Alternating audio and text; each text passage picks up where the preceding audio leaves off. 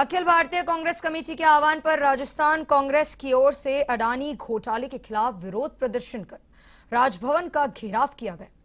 केंद्र सरकार की अडानी के पक्ष में क्रोनी कैपिटलिज्म की नीति के विरोध में सिविल लाइंस फाटक पर राजभवन का घेराव कर अडानी और मोदी के खिलाफ नारेबाजी कर। विरोध जताया गया। इस दौरान सिविल लाइंस फाटक पर कांग्रेस के कार्यकर्ता एकीकृत हुए। वहाँ जनसभा का आयोजन किया गया। कार्यक्रम में राजस्थान प्रभारी सुखजिंदर सिंह रंधावा, प्रदेश कांग्रेस कमेटी अध्यक्ष गोविंद सिंह डोटासरा, मंत्री डॉक्टर बीडी कल्ला, प्रताप सिंह खाचरियावास, महेश जोशी, टीकाराम जूली, सुभाष गर्ग, कांग्रेस नेता रघु शर्मा, हरीश चौधरी समेत कई कांग्रेस के विधायक और नेता मौजूद रहे। इस दौरान कांग्रेस प्रभारी सुखजिंदर सिंह रंधावा ने मोदी सरकार पर जमकर हम, हमला बोला। कहा मोदी ने मोदी की सरकार की ओर से केवल अडानी ग्रुप को फ़ायदा पहुँचाया जा रहा है देशवासियों को इस बारे में सोचना होगा। वहीं पीसीसी चीफ गोविंद सिंह डोटासरा ने कहा कि अडानी घोटाले को देश का सबसे बड़ा घोटाला बताते हुए इस मामले में जेपीसी की जाँच करानी होगी।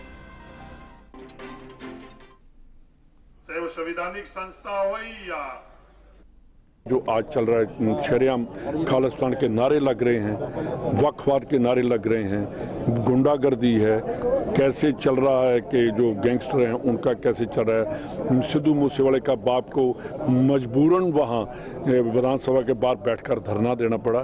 तो आप वहाँ की लॉ एंड ऑर्डर की देखिए, ये तो मेरा ख्याल है कि मोदी साहब ने कहा होगा कि, भाई जाओ तो वहाँ गुजरात जैसा माहौल बनाओ तो हमें फिर यहाँ का मौका दो।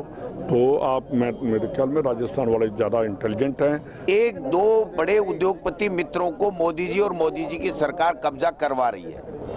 और इसीलिए जो व्यक्ति 700 नंबर पे उद्योगपतियों की श्रेणी में आता था दुनिया में, वो आप पहले साथ में आ गया।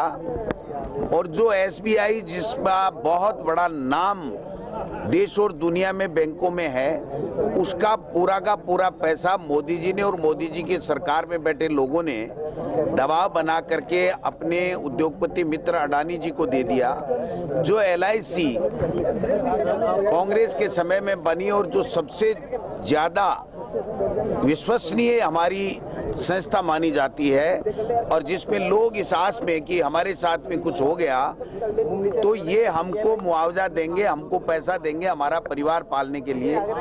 उसका पैसा भी दबाव दे करके अडानी जी और अन्य एक दो मित्र जो मोदी जी के मित्र हैं, जो उनको चुनाव में फंडिंग करते हैं, उनको दिला दिया गया।